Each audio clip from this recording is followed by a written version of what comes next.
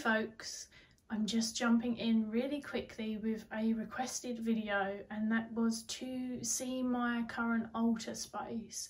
Now because most of it is predominantly um, on Patreon already, I did a whole witch room tour, albeit it was just before my altar changed and the shelving appeared, which I'm loving. Because I really went into depth with it on my Patreon, I kind of want to make sure that I differentiate between the content on there and the content on YouTube.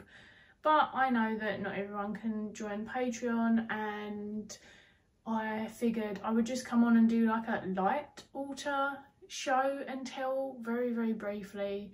It probably looks like a mess to you, I don't know. I really don't like the wallpaper, but that's a side note. We rent, it is what it is.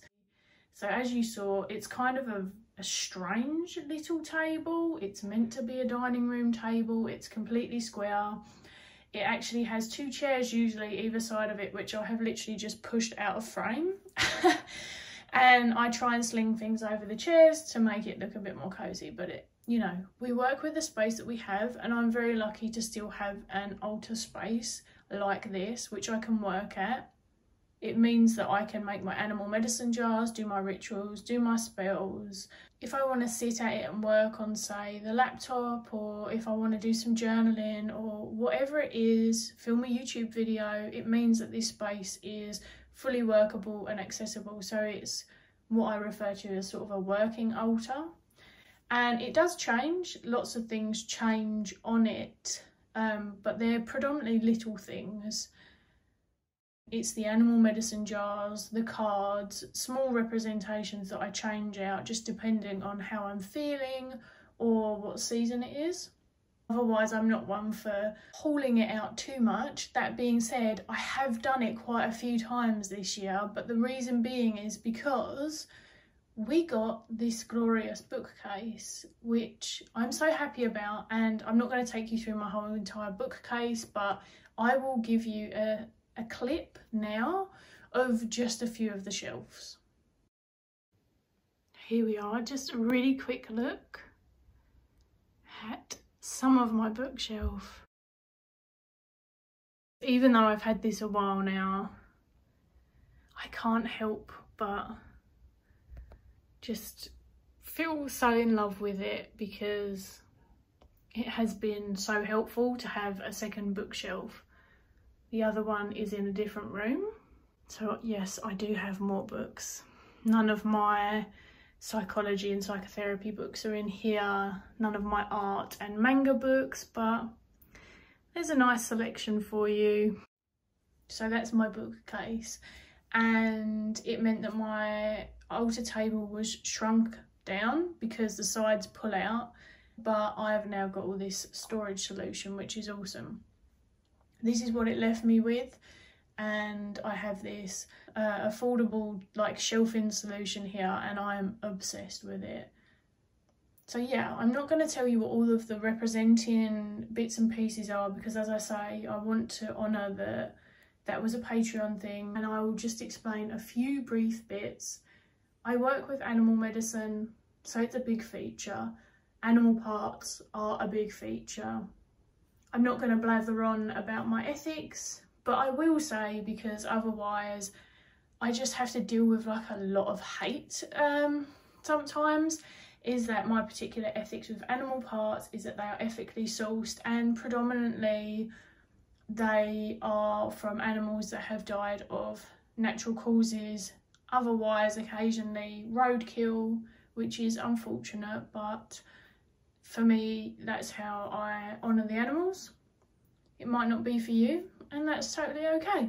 Because I work with animal medicine a lot, you will see that one of my main animals is featured right in the middle, which is the fox. I have many foxy things in and around my witchy room.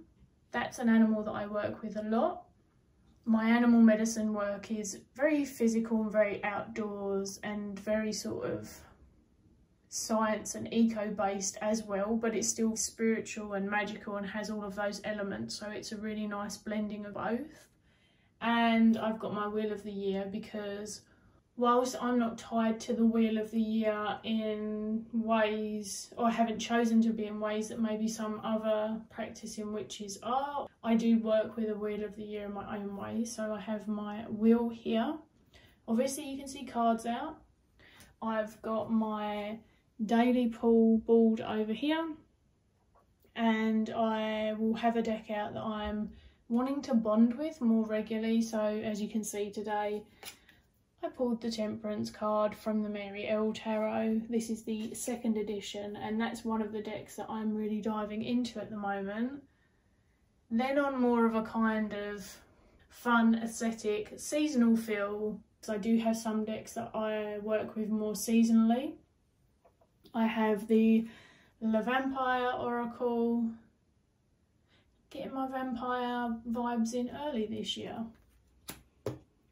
And this gorgeous, gorgeous herb bundle, which I will show off, is from the one and only Mad Witch. If you do not know who Mad Witch, aka Giselle, is, then you need to remedy that, my friends. Remedy away. So like everyone's altar, I have a lot of stuff that has personal connections to me. It's quite animal based, it's quite nature based. It has to be a good working space for me and then I just move things in and in and around and on and off of the table as I need to and as I feel is pertinent to my practice or whatever craft I'm doing at the time. The wood slice that was off to the side that you saw in the beginning is a lovely space for me to do um, spell work, ritual work, have a specific altar space. It's something that I can just slide from the side into the middle as well, pop some candles on it, just protects the table and the uh, table covering.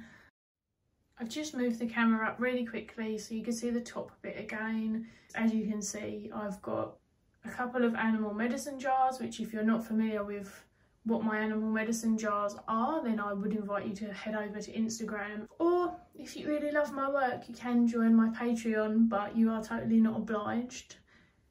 Nevertheless, segue, the animal medicine card that goes on the top of my altar each month now is the one that we are working with on my Patreon.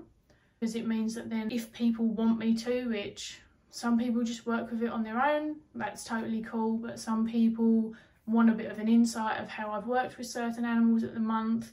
It also means that I can share more ritual ideas and really focus in on that animal.